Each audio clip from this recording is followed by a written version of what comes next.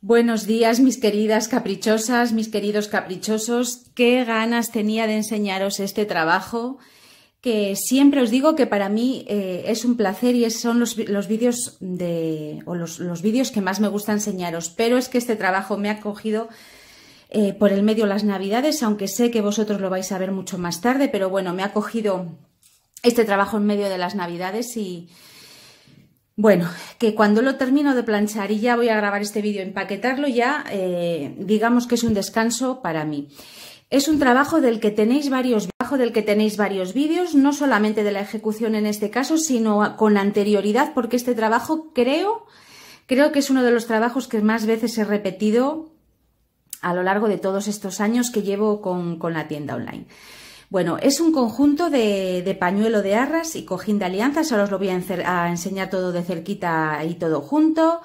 Es el modelo Copitos de Nieve. Repito que lo tenéis a la venta en mi tienda online. Sabéis que es www.caprichosdebolillos.es y es un patrón que por el motivo que sea llama muchísimo la atención. Yo creo que simplemente es el hecho de que es como muy distinto a, todo lo que habitualmente se ve. Es un patrón que tengo hace muchísimos años, pero desde siempre es un patrón que ha llamado mucho la atención y yo creo que sencillamente es por la distribución de, bueno, pues de los motivos, eh, en este caso geométricos, con los puntos de espíritu enmarcando tanto la parte eh, interna como la parte externa, con su hilo reseguido, que es el que remarca todo el dibujo geométrico, que si quitamos ese hilo cambia el patrón totalmente y no es ni, ni su, bueno, no es ni su, ni su primo hermano, cambia muchísimo. En este caso, el remarque del hilo reseguido, la verdad que marca un punto muy, muy importante en este trabajo.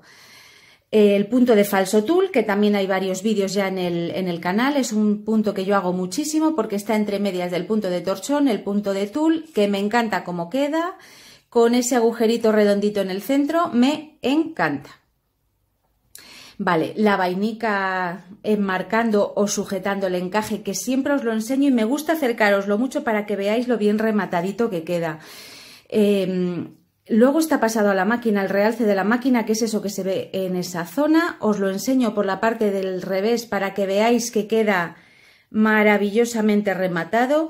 Yo siempre digo que si no quedase bien rematado, evidentemente no sería uno de mis remates de cabecera. Lo hago muchísimo. Siempre que quiero que un trabajo venga, esté rematadito con la vainica, siempre le paso ese realce y queda queda brutal, queda muy bien rematado, muy seguro, muy fino y que pasa prácticamente eh, eh, eh, inapreciable. La vainica tenéis varios vídeos de esta vainica en el canal, muchos de ellos, porque son vainicas que utilizo muchísimo, sobre todo para este tipo de trabajos, de, en este caso son trabajos de ceremonia y para las toallitas de bautizo las utilizo muchísimo. Es la vainica tres pasos o cadena en tres pasos, la utilizo muchísimo.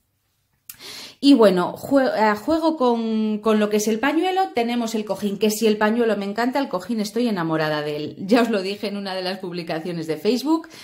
El patrón del cojín lo he sacado yo del, de lo que es el pañuelo, no está eh, como tal, digamos, no existe, está recortado tanto en anchura como en, en el tamaño del final del cojín, porque por motivos personales y porque me gusta más, siempre dejo el pañuelo un poquito más grande que el cojín. Como veis, ¿eh? siempre el cojín es un poquito más pequeñito. Le he quitado un dibujo de amplitud del pañuelo por motivos personales. Me gusta así porque me gusta, me parece que queda mucho más fino y mucho más eh, etéreo cuando el cojín es un poquito más pequeño. Pero repito que en este caso es por motivos personales y como los hago yo los patrones, en este caso el recorte del patrón, pues lo hago como a mí me, me parece que queda más bonito. El cojín va enmarcado con la misma vainica que lo que es el, pañuelo. Ahí se aprecia menos porque está eh, debajo justo el, bueno, pues la tela del relleno. Pero bueno, es exactamente la misma, la misma vainica que la del cojín. Ambos trabajos están hechos con, el hilo eh, en color blanco roto. Siempre los trabajos de ceremonia yo siempre los hago con un hilo de bordar a máquina del número 50. Ya sabéis que mi hilo de cabecera es de la marca Anchor porque lo he utilizado durante un montón de años y me sigue resultando fantástico. Entonces está hecho con ese hilo, la tintada número 2, que es el blanco eh, roto, el blanco natural, el blanco sucio, se llama de muchas maneras. Bueno, pues está todo ello hecho con, con el mismo hilo y la verdad que es, me parece que queda hecho un sueño. Por la parte de atrás también os he grabado un vídeo, ese sí que no sé si irá antes o después de los ojales al aire. Como veis va todo, todo, todo, todo, todo hecho, hecho a mano con una vainica ciega y bueno, el relleno de la, de la parte de dentro es un crepé de seda, que es una tela maravillosa también. No es un raso, es un crepé de seda, que es una tela maravillosa, no tiene ese brillo del, del raso eh, tan súper brillantoso. Bueno, el conjunto para mí es un sueño, ya os digo que lo he hecho un montón de veces.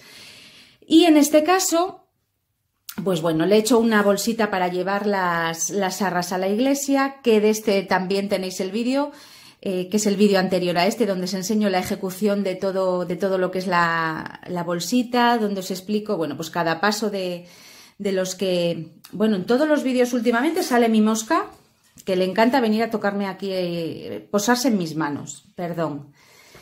Eh, cuando termine el vídeo voy a ver si, si, la atrapo ya de una vez y la, la diestro un poco.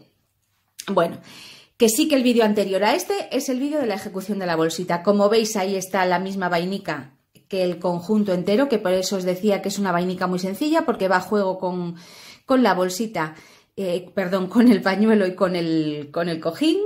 Bueno, que es una monada, ahora ya sí que la habéis planchadita y que como aparte de tener el, en este caso es para llevar las arras a la iglesia, después se puede utilizar eh, como una bolsita de olor, bueno, pues es un detalle que yo les meto a, a mis clientas, es una rosa que tiene un poquito de olor, pero es un olor muy sutil, ¿eh? de manera que no va a enmarcar el, no, no va a marcar ese olor eh, los trabajos, es una, bueno, pues es un olor muy, muy, muy sutil y les meto la rosita, la rosita o bueno, el detalle que tenga en ese momento, eso va metidito dentro de la bolsita para que cuando la abra la encuentre.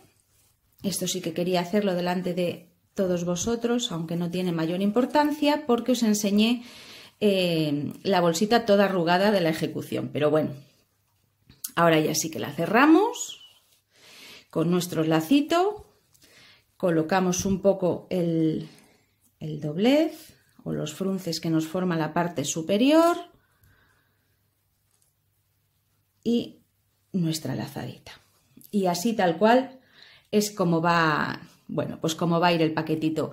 Como veis es un detalle que queda muy fino a la hora de, bueno, pues de entregar un trabajo y sobre todo que, bueno, pues que es un detalle que tengo con, con mis clientas, que en este caso Mari Carmen, Muchísimas gracias por haber vuelto a, confiar en mis manos, que espero que tengáis una ceremonia preciosa.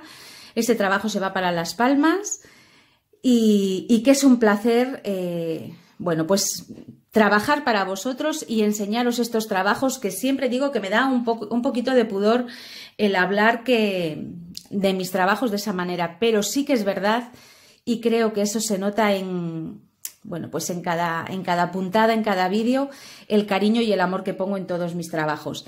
Que espero que os haya gustado, que, que aunque no ha sido, no ha habido muchos vídeos de este trabajo, porque repito que es un trabajo del que sí que hay varios vídeos en, el canal y tampoco quiero eh, aturullaros siempre poniendo los mismos vídeos, que espero que os haya gustado lo poquito, lo mucho que, que os he enseñado, que hayáis disfrutado de cada, de cada puntada que damos juntos, que siempre os lo digo, que es un placer ver el apoyo y el, bueno, pues la acogida que tienen mis trabajos y mis vídeos, que siempre termino dando las gracias, pero es que es de verdad lo que siento en, el momento en el que estoy grabando los vídeos. Eh, es un placer haber, bueno, pues haber puesto eh, o haberme decidido a abrir este canal para enseñar mi trabajo porque me está dando muchísimas satisfacciones. Era un poco reacia abrir el canal porque supone, bueno, pues, pues un trabajo a mayores del que habitualmente eh, tengo todos los días. Sabéis que estos trabajos son trabajos que dan muchísimo trabajo, que tienen muchísimas horas detrás, que hasta que lo ves planchado como está ahora, eh, bueno, pues son infinitas las horas que le dedico a, a cada trabajo. Entonces, el hecho de tener que pensar también en, grabaros los vídeos que sean, que, que, bueno, que pienso que pueden ser de, interés para vosotros, pues para mí es un trabajo a mayores que lo hago con muchísimo gusto, sobre todo por, precisamente la acogida que, que han tenido mis vídeos y mi canal. Entonces, bueno, pues muchísimas gracias a todas mis caprichosas, a todos mis caprichosos, a Mari Carmen por haber eh, pensado en mí para, bueno, pues para este trabajo, este nuevo trabajo. Que espero que disfrutéis del vídeo tanto como yo disfruto cuando los estoy haciendo. Y os mando un besín muy cariñoso, muy cariñoso desde mi querido León. Ahora sí que me despido. Hasta el siguiente vídeo. Nos vemos enseguidina.